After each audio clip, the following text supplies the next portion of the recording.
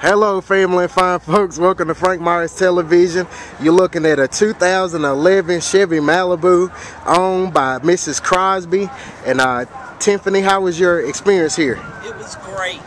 Does everybody ride here at Frank Myers? Everybody rides at Frank Myers. That's right, baby. We all ride here at Frank Myers Auto Maxx. You might not ride as fly as she ride, riding today, but you will roll.